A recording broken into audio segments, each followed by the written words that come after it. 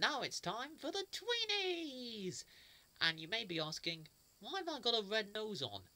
Well, that's because today Milo is being a clown!